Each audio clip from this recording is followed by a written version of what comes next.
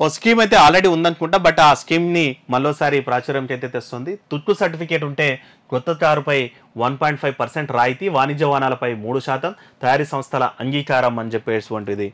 For example మనది పాత car అయిపోయింది. పదిహేను ఏళ్ళు ఇరవై ఏళ్ళు నడిపినాం. జనరల్గా పదిహేనుల వరకు అయితే హ్యాపీ నడపవచ్చు పదిహేను ఏళ్ళ వరకు అయితే కష్టపడి నడవచ్చు. కొద్దిమంది ఏంటంటే ఊళ్ళో ఉండేటోళ్ళు ఏముంటారు? అంటే వాళ్ళు తక్కువనే నడిపింటారు కాబట్టి ఇరవై ఏళ్ళు అయినా సరే వాళ్ళు నడుపుతుంటారు అట్లే. సో అట్లాంటి వాళ్ళకి ఇక ఆ తర్వాత వాడిన తర్వాత అది మొత్తం అప్పటికే పాత అయిపోయి ఉంటుంది ఆ పాత కారును షోరూంలో ఇస్తే అంటే తుట్టు కింద కన్సిడర్ చేసేసి దానికి ఆ తుట్టు రేట్ అయితే కట్టిస్తారు.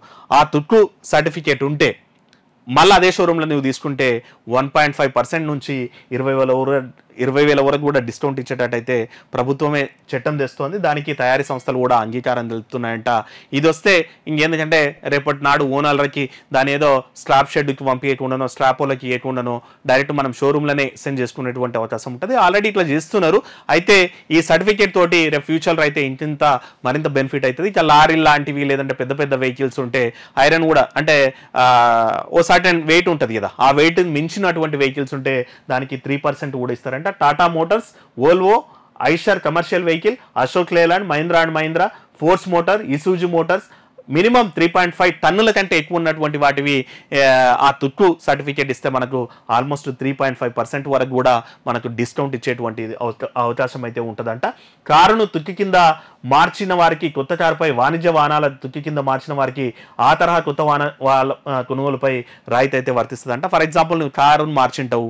ఆ కారు మళ్ళీ కారు తీసుకుంటే దానికి సంబంధించిన దానితో అయితే ఈ డిస్కౌంట్ అయితే వర్తిస్తుందంట. ఇది గుడ్ న్యూస్ అని చెప్పాలి. ఎందుకంటే మనం ఇంకా వాళ్ళు ఇచ్చిన పెద్ద నష్టమే ఉంది లాభం ఏందని చాలామంది తుక్కు కిందనే అమ్మేస్తుంటారు. అదే మనం షోరూమ్ వాళ్ళకి ఆ తుక్కు సర్టిఫికేట్ ఇస్తే ఎందుకంటే రీసైక్లింగ్ కోసం. ఇది సింపుల్ ఏంటంటే రీసైక్లింగ్ కోసం. అది వేస్ట్ కాకుండా మనకి ఇంత పర్సెంటేజ్ వస్తుంది ఇంత డిస్కౌంట్ వస్తుంది ఇన్ని పైసలు వస్తాయి అన్నటువంటి కన్సర్న్ తోటి వాడు డైరెక్ట్ ఆ తుక్కుకే అమ్ముతాడు కాబట్టి ఆ తుక్కు సర్టిఫికేట్ తీసుకొని ఇక్కడ ఇస్తే డిస్కౌంట్ ఇస్తుంది. వాటి రేపటి నాడు ఈ రిసోర్స్ అవుతుంది ఇలాంటివి మళ్ళీ రీసైకిల్ అయితే అన్న ఉద్దేశంతో ఇట్లాంటి స్కీమ్ అయితే పెడుతుంది గవర్నమెంట్. వాడుకోవచ్చు ఇంకా త్వరలో మనకి ఇదైతే వస్తుంది.